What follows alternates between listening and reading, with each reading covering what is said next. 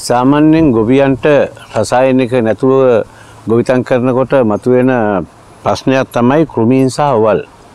අහනවා මගෙන් වල් මර්ධනය කරන්නේ කොහොමද? කොහොමද කෘමීන් මර්ධනය කරන්න කියලා.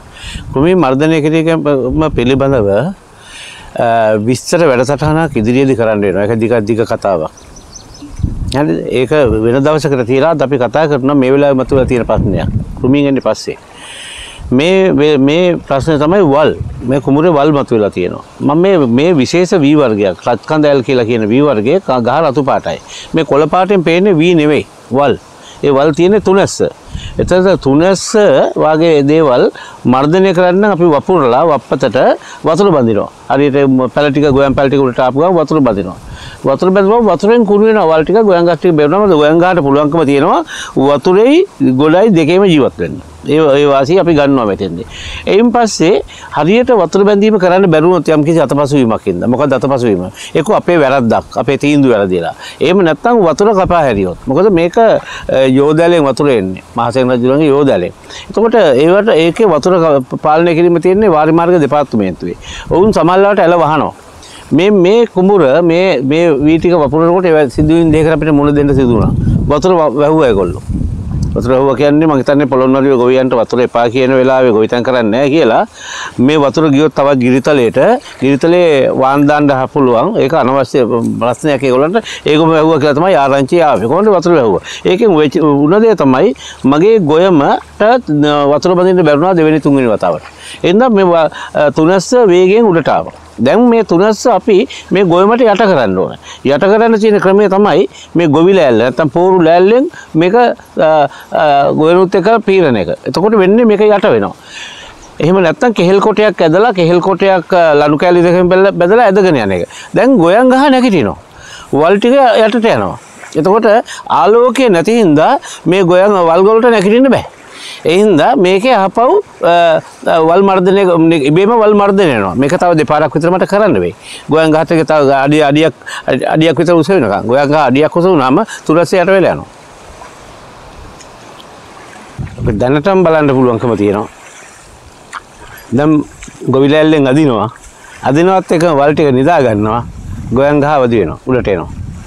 ඉතින් මෙවැනි දේවල් තමයි මේ සිංහලයේ ගොවිතැනේ නැත්තම් හෙළ ගොවිතැනේ තිබුණු අතිශයින් තිබුණු රහස්. නමුත් ලේසියට කුසිකර්ම කරන්න හිතාගෙන මිනිස්සු වල්නාශක ගහන්න පටන් ගත්තා හලාහල විසක්. ඒ වල්නාශක කුඹුරේ තියෙනවා වතුර බොන්න හම්බෙන්නේ නැහැ. ඒ වතුර වස වෙනවා. ඉතින් දැනටම ශ්‍රී ලංකාවේ වතුර බොන්නේ සල්ලි වලට අරන්. මේක කලේ අපිමයි. ඉතින් ඒක නවත්තන්න ඕන. තව අවුරුදු 90ක් යනවා මේ පොළොවට එක්කව කරපු වස ටික පොළොවෙන් අයින් කරන්න අපිට. අවුරුදු 90ක් නැවැත්තුවොත්.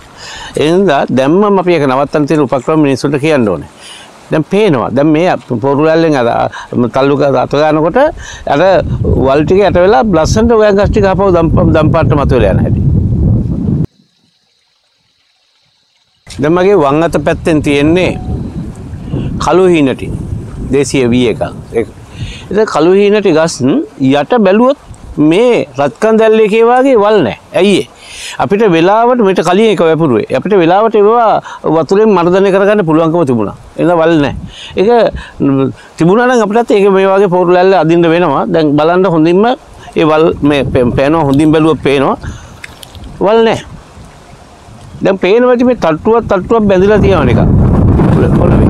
ඒ තට්ටුවක් තට්ටුවක් බැඳලා තියෙන වෙන මොකක්ද නෙමෙයි. අපි මේකට දියර පොර වලක් හදලා තියෙනවා. ඒ දියර පොර වලේ පොර හැදි හැදි මේ කුඹුරු ටිකට යනවා. අපිට ආයේ පොර දැමීමේ අවශ්‍යතාවයක් නැහැ.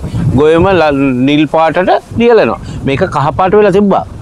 කහ පාට වෙලා තියෙනවා අපි දියර පොර වල නිදහස් කෙරුවා. දැන් එක කොළ පාටිය දැන් දියර පොළ වල වහන්න ඕනේ. ඇයි? කොළ පාට වැඩි වෙලා ගහ උසයයි. උස ගියොත් එහෙම ගහ වැටේ පීදෙනකොට. දැන් අපි ඕක නවත්තලා ওই දියර පොර ටික අරිනවා කහ පාට ලියදි වලට.